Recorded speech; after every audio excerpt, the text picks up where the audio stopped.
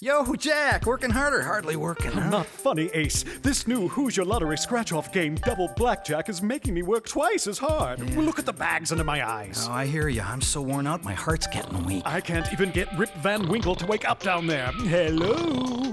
Play Double Blackjack from the Hoosier Lottery. You get eight hands and you could win up to $20,000. It's a lot of fun and it's just two bucks. I need a vacation. Can I borrow your bags? Oh, funny. Double Blackjack from the Hoosier Lottery.